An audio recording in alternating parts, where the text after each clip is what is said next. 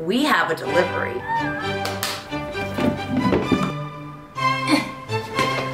Ah! Back in a second.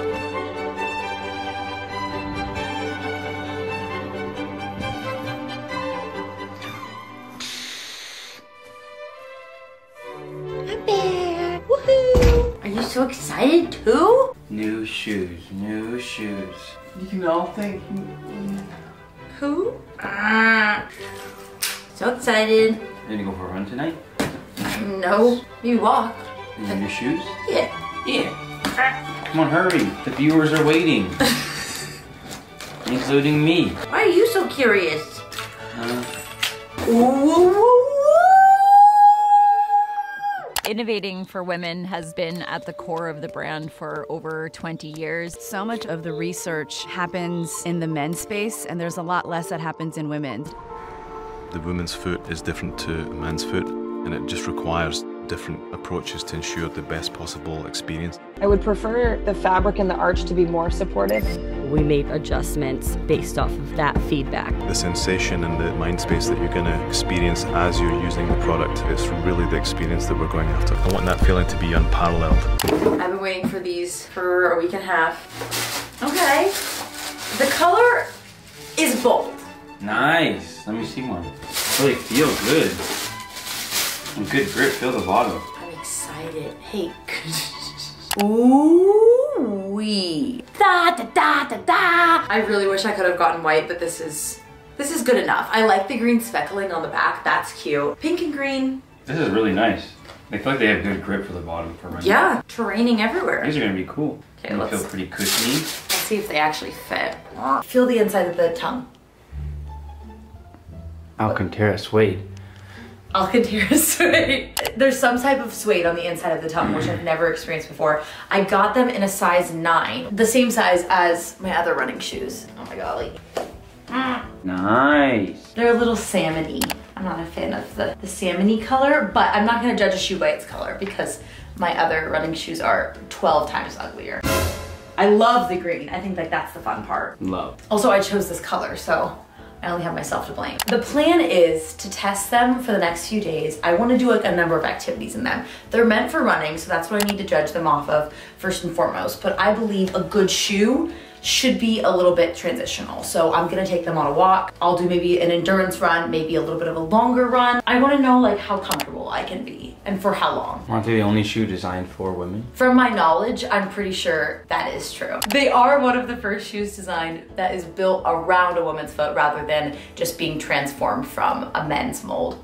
Okay, Looks so good. what do we think? Looks good. Are they comfy? Walk. Feel good so far? Do you feel like you could run in them? I feel like they are like a, a hair too big, but I don't think I would go lower because there's like a little bit of room and with running shoes, like you do want a little bit of space because yeah, strike the ground. They're just like comfortable. They kind of feel like they're molding to my foot. If they make men's, you're going to die over these. They better make men's, so we're gonna buy them. Hear that, Lulu and Lemon? What do you think? How do they look on me? They actually look really nice. They're like Yeah. when you put on a workout outfit, they'll look 10 out of 10. Like if you match an outfit to them. So are they comfier than you expected? Less comfy? I'd say I was expecting a good amount of comfort and they do It meet delivers. that expectation. Yeah. Jump a uh, little like. The only thing I'm like a t- like I'm a hair mm-hmm. nervous about is what if they're a half size too big?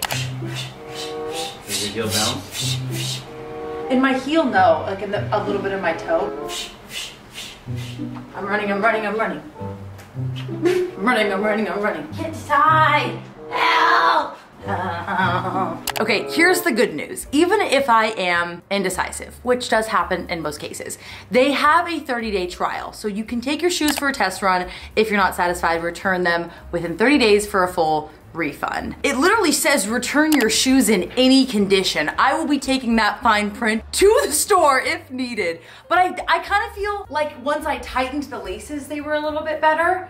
I've been test running as much as possible. I think it's time to take them outside for a walk. I'm feeling quite comfortable. The shoes feel like I'm wearing like snuggly socks. It doesn't even feel like I'm wearing shoes. Look at that. It's Freezing. So far as a walking shoe, I'm gonna give it like a 9 out of 10. I feel like my foot is just getting the nicest little hug it ever could. It feels kind of weightless at the same time, which normally I don't like. I prefer a bit more support. So that's where the running test is gonna need to come in. I am used to Asics, like these big bouldery, clunky soles, and these are thin and light. So it's just gonna be like a change of like style. Yeah. Good morning. We are about to go on a run to test the new shoes. Surprisingly, or maybe not surprisingly, this is only the second run I've done since my race. I think I've just been putting a lot more energy into strength training. And if I've said it once, I'll say it a thousand times. I am motivated by deadlines. I need the deadline or I might not run. I might not do a lot of things. AKA why I had to schedule my CPT exam to actually get my booty in gear. I was gonna wear my exact green shirt that I wore for my race today, you know, kind of in honor of that, but I'm just gonna stick to white. It is a little bit chilly-ish out. The sun is shining, which is good news, because it was like hailing and thunderstorming the other day. But I'm gonna wear, this is I think a, double layer, Lulu, also Lulu, Gym Plus Coffee, Swift leggings, I'm nearly positive, and Bombas socks. I feel like if I attempt to do this, it's gonna be fly away, fly away, fly away. When am I just gonna sit down and teach myself how to properly do like more braids as short as I can go? Not bad. That's not bad at all. Infant mode activated. It's like I love the functionality of braids, but I look like a toddler. I need to hem both of these shirts, so we've got like a lot I'm gonna have to be dealing with down here. Should I wear my belt? This is like such a casual run. I always feel like a dork wearing it when I'm not going for like 10 miles. But it's so handy. Then I don't have to worry about my keys. I do have pockets. We'll just do that. That's fine. They're still so beautiful. Like, are you kidding me? I swear to you, like the only thing I'm not 1000% in love with is the color. But granted, I literally chose the color myself. Also, the last time I checked, they don't even have white on the website anymore. I'm guessing it either sold out really quickly or they don't have maybe like certain shipments in place to get it to be ready for order. I don't know. But I think if they had the white, I would return them for that. If the size is good, like the color is something I can absolutely get over. I still feel like I have a lot of space like up here in my toe box. I saw a few reviews on the website that people said the toe box felt narrow to them. So I think I would be nervous if I tried an eight and a half going down one half size that maybe I would feel like really squished at the top. But I think that's why today is gonna be important because I wanna see how my foot slides around, if at all. Hopefully it doesn't. My ankle is feeling very secure, so at least that's good. But everything could be different when I start running. You never know. We're bringing our snacks. Literally bringing my whole box of dates and a protein bar for afterwards and water. Oh my gosh, my headphones. I was this close to walking out without them. Ah, that would have been the second time I've done that and that would have peeved me. Such a dummy. Look at me. I woke up so early to get this done. It's already 11 o'clock. Make a wish. Oh my god, ow, ow. My legs are so sore. I feel like I'm getting nervous the closer that I'm getting, but I'm just gonna take this easy. And also, it's not even about me today. We're talking about the shoes, for gosh dang it. One of the reasons though, I think that this is so important to me is because I genuinely have believed for so long that I didn't like running for years for a lot of reasons, but one of the main being that I hated the shoes I was wearing. I never felt like a shoe worked with me until I went to the running store. I got fitted for my Asics and the rest is history. And I'm not saying that's the only shoe that's ever gonna work for me and my body, but that's what makes me so nervous to try something different. I don't wanna have to be that person that relies on their tools. I know I can run, but what if I can't do as well without the shoes I'm used to? What if these shoes just don't work with me, even though they're meant to, even though they're meant for women. Doesn't mean that they're meant specifically for me. I don't know. It's so crowded, but I'm going to um, face my fears of vlogging in public because this is important. These people don't know me. That's why I always tell myself, I don't know these people. They don't know me. I'm not judging them. They're not judging me. It helps. We're gonna do some quick warm-ups and then I'm gonna hit the road. Right now, I'm feeling a little loose in the toe box, but it's gonna be fine.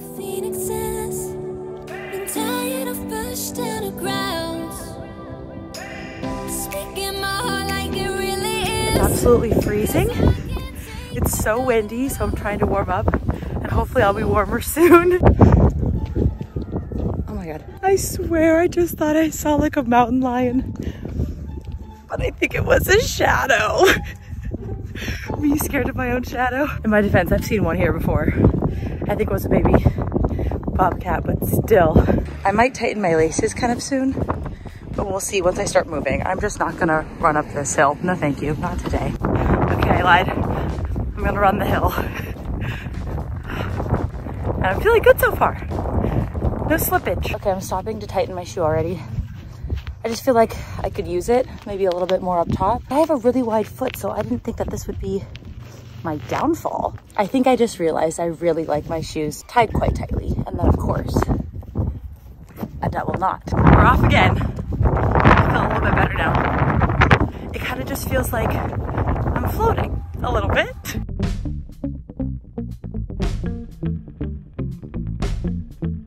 Uh, look how long my legs look.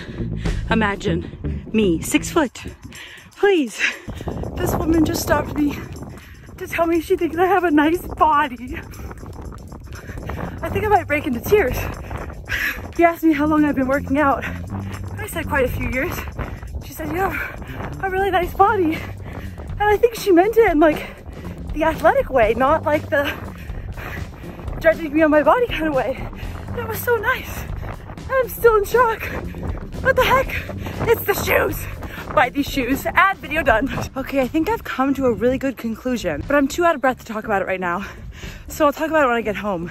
But I think it's a good theory on why these shoes might be helping me. Also, while I'm here, let's normalize running because it makes you feel good, because it's good for your body, it's good for your mind, your soul, the endorphins, and it doesn't have to be associated with weight loss. Almost done. Ah. Alrighty. Ah. That was a really good run. It's warm out now. Flashback to me saying I was cold. Ah. Oh my golly. I need water, air, and protein. Ah! Okay, let's talk about my theory as to why I think that was one of my favorite runs I've ever had. there are a lot of elements that go into a run. Of course, I can't just be reliant on a shoe to get me through it. That's kind of what I was getting at, you know, in between breaths, if you could understand me. Running is about your endurance on so many levels, not just physically, but also your mental endurance, pushing yourself, your technique, your breathing, your stride. Like there are so many things that go into it. And yes, you can have these tools that help you, but at the end of the day, it's still going to be you who's putting in that work no matter what. So remember that whenever you're choosing any kind of shoe or any kind of product with whatever kind of training that you're doing. But here's my little revelation. I'm also really hoping I explain this kind of well, all right? During my half marathon, actually after while I was editing all of the footage that I took and all of the vlogs I took of me running, etc., I kind of noticed I wasn't really happy with my running stride. And I kind of knew this, like I kind of knew I didn't look like a Olympic runner, spoiler alert. But I've been having a lot of pain in my hip flexors. I think I realized that they were way too overactive. They were just running the show. And for somebody like me, that is prevalent for a lot of reasons. Primarily, uh, you can have overactive hip flexors if you're sitting quite often, if you just live a lot more of a sedentary lifestyle. If you think about it when you're sitting down, your how do I demonstrate what it looks like to sit down? Your knees are bent. Therefore, if this is your metaphorical hip flexor, they're constantly in a state of tension, you know? And as much as I work out, all of the time. Still, so much of my day, I'm sitting, I'm editing, I'm on the couch, I'm sleeping, eating, still sitting. Maybe I'm working out, but that's like an hour of my day. So the whole rest of my day, my hip flexors are so overworked. And that isn't necessarily why I think that they were so predominant in my running stride, but I don't think it helped whatsoever. So I was kind of running like this. Like I was running more up and down rather than like at a slight lean forward, which is really how you're supposed to do it. And your foot should be striking underneath you. And I was striking a little bit ahead. So I've been constantly trying to work on that, but it's not, you know, as easy as it sounds to just automatically completely switch your form in the midst of running. So this is my kind of dramatic theory. And it's, like I said, it's dramatic, but I think it makes sense. in a weird way. These are our Lululemon shoes, okay? They're very, very lightweight. I mean, probably a few ounces, but the shoe is meant to complement your foot. It feels very, very effortless when I'm running. It just kind of guides me along. It's kind of nuts. Now compare that with my traditional running shoe. These two, in my eyes, couldn't be further apart. They are not sisters, they are not cousins, they're definitely not twins. I don't even know if they're in the same family. Maybe like fourth cousins twice removed. I have always thought of my Asics as my saving grace, like the thing that enabled me to become a runner. And I thought of that because I needed like this clunky shoe to get me along. And maybe because I'm in my head so bad at running, if I have such a supportive base like this, then it's going to guide me along and I'm gonna do really, really well on my runs because I have so much support underneath me. Like this is a really clunky shoe. She's, she's hefty. I feel like I'm wearing a platform when I'm wearing these. So when I was trying to improve my stride today, something that I've tried so many times to do in my Asics, it felt effortless in these. And I genuinely mean that. And I think like in a weird way, I kind of felt like I was just gliding, like I was skating on ice. It was just, ah, the best way I can describe it is endorphinic, my made up word. So maybe, just maybe, this shoe was like holding me back this whole time. Maybe it was too clunky to get me along with the better stride that I can get from her. Like I said, it's kind of a far stretch, but that's the way it felt. I felt lighter, I felt faster, I felt just good. I also completely forgot until this very moment that these have my insoles in them. So I could even maybe make the experience better by putting these inside the Lulu shoes. Highly recommend an insole. Like, I think it's wonderful. Like, look at this thing. Forms to my foot gorgeous. Let's talk a few negatives because of course, like this is very unbiased. I bought these shoes with my own money. That doesn't mean a sponsored review is any less valid, but you know, sometimes it's just helpful to have something completely unbiased. I think straight from the get-go, I noticed the initial like just look of how dirty they got. Like in comparison, I've had these shoes for I think three years. Granted, they sat in my closet for a very long time, but I've been training in these for three months. And yeah, like they don't look perfect, but I went on a walk and one run in these. Like it's lighter colors, I'm guessing that's why, but I feel like I could see these easily looking dirty. Now, of course, you know, they're shoes. they're meant to get dirty, but I don't like the look of super rundown shoes, but I'm sure an easy fix pop them in the washing machine, wipe them down with a magic eraser, you're good to go. I think some of the online reviews might be a teeny bit right about something just being off in the toe box. I think that's why I was so indecisive about my fit, especially at the beginning of this video, because it feels like there's a lot of extra space right here, but you're snug kind of prematurely. So it does help you when you're running because you're kind of constantly jutting forward into the toe box, but it, it feels like I should size down, but at the same time, they're a perfect fit. So something's a teeny, teeny bit off. I naturally have a very wide foot.